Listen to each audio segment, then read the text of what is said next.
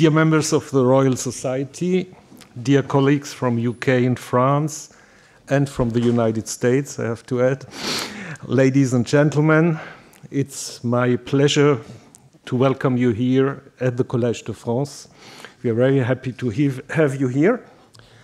And uh, I don't want to be very long, it's just to introduce to the topic of this meeting. In the face of global challenges, particularly those related to climate change, it is becoming imperative that science academies and institutions as Collège de France around the world together engaging all stakeholders in the development and implementation of solutions. Scientific collaboration between the UK and France has a long history with close links forged over the years between our institution and British researchers and in this meeting, today and tomorrow, the Collège de France and the Royal Society will bring together scientists dedicated to promoting scientific excellence, as well representatives of politics, industry, civil society, committing to exploring the scientific, political, ethical, and social issues involved in tackling climate change. And this meeting is the first of, we hope, several meetings that we are planning together with the Royal Society. Uh, there is already a decision for the next meeting at the end of the year, November, if I'm not mistaken, on aging. So this is a topic also which is of interest for all of us, not only climate change, aging, I think, is also something that I feel it every day, but this is another topic. So the theme of this uh, meeting, of the present conference, is building a climate resilient society, and I'm very glad, grateful to my colleague uh, uh Jean-Marie Tarascon and also Philippe Sansonetti for the organization of this meeting, which is a part of the initiative of the Collège de France Avenir Commun Durable. Uh, this initiative, Avenir Commun Durable, was launched in 2020, 2021 by professors of the Collège de France under the initiative of Jean Marie, with the idea to gather researchers from a wide range of disciplines economists, chemistry, mathematics, history, law, and so on. And the objectives are to provide scientific answers, because there are so many fake answers. But what we like to do is to provide scientific answers to the challenges of climate change, to disseminate certified scientific data, to provide intellectual stimulation for everyone, politicians, citizens alike, and to alert society that there is an absolute need to act. I think you have the program of the two days, and you will see how Avenir Commun Durable is working. We'll have insights from various scientific fields, and such a collaboration is absolutely necessary in order to get an overall picture of our situation and to elaborate strategies for climate resilient society. As you see, we will start with history, ancient history, and uh, see how climate change changes in history produced innovation and adaptation in human history and then we will have several presentations of the post or low carbon future and the importance of hydrogen.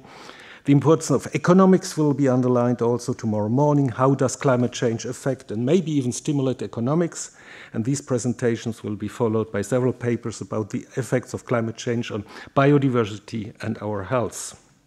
And then tomorrow, before the concluding remarks by Sir Peter Bruce and Jean-Marie Tarascon, we'll hear about the challenges of providing advice to government.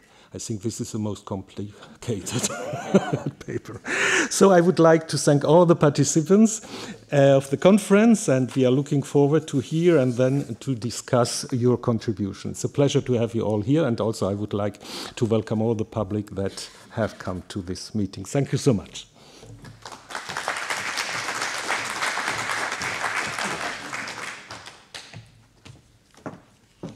Good afternoon, everybody. My name is Julie Maxton.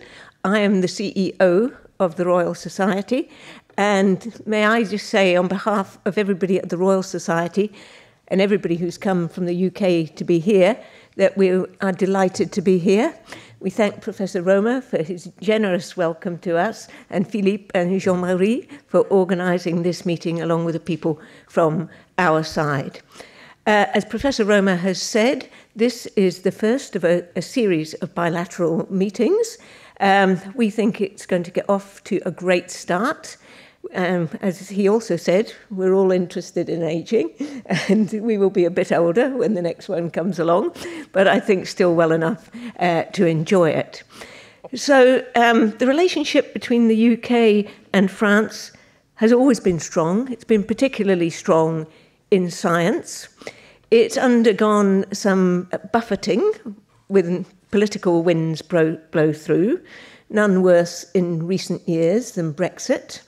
Um, but we are grateful to all our friends in France and indeed throughout Europe to help us get over, as far as we can so far, the worst of Brexit, and we are now associated to Horizon Europe.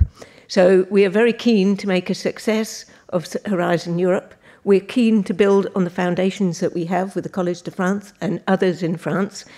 We have a dedicated grants program which brings together scientists in different areas and we are part of um, a system called a global talent uh, visa system because we understand that mobility is so important to scientific research. So we're committed to building on the relationships that we've always had with France and across Europe and indeed across the world for science. And today, I just want to say what a delight it is to be here and to be looking at questions of common interest together. So thank you all very much for welcoming us. We look forward to welcoming you um, to London, um, where the weather will probably be awful. But never mind. it just it remains for me to say um, Kyle is our first speaker, as you can see. So over to you, Kyle.